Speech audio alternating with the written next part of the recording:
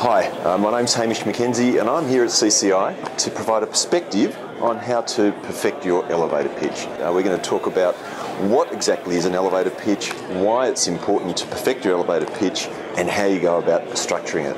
Um, may I suggest for more information, go to cciwa.com and you'll learn all about it.